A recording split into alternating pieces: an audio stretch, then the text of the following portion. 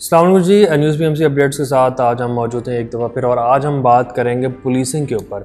आपको मालूम होगा कि गुज्त रोज़ एक वीडियो वायरल हुई जिसमें पी एम इमरान ख़ान को एक ख़ातून की तरफ़ से कॉल की गई जिसमें उनके घर पर कब्ज़े के हवाले से बात थी उसके बाद जो है आई जी पंजाब इस मामले में इन्वॉल्व हुए और ख़ातून को वो घर दोबारा दिलाया गया और ये मसला दूसरी दफ़ा पेश आया है।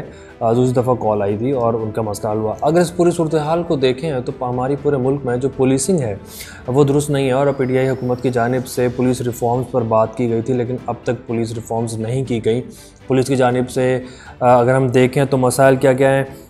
एफ़ आई आर झूठी एफ़ आई आर दर्ज की जाती है पुलिस की जानब से। बाज़ात एफ़ आई आर ही दर्ज नहीं की जाती। अगर कोई साइल वहाँ जाता है तो तीसरे नंबर पर रिश्वत दी जाती है।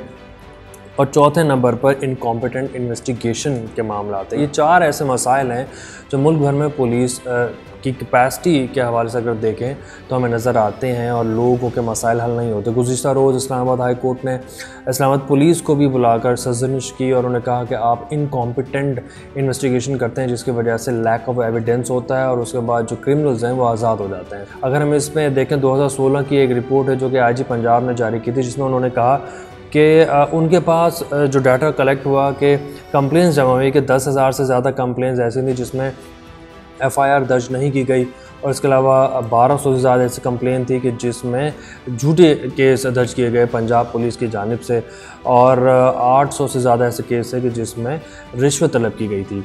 अब अगर ये 2016 के नंबर्स हैं, लेकिन अगर हम 2021 से कंपैरिजन करें तो नंबर्स बहुत ज़्यादा होंगे। इस पर काम करने की ज़रूरत है ताकि लोगों के मसाइल हल हों और पुलिसिंग बेहतर हो।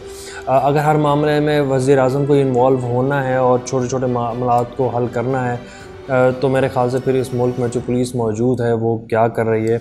उस, ये एक सवाल निशान है, पुलिस की कैपेसिटी को बेहतर करने की ज़रूरत है। ताकि वो ये समझें कि उनका जो काम है, वो अवामी मसाइल और और उन्हें जो आवाम को जो मसाइल दरपेश हैं, उनको, उनकी हल निकालना है, ताकि उनकी ज़िंदगी आसान हो सके।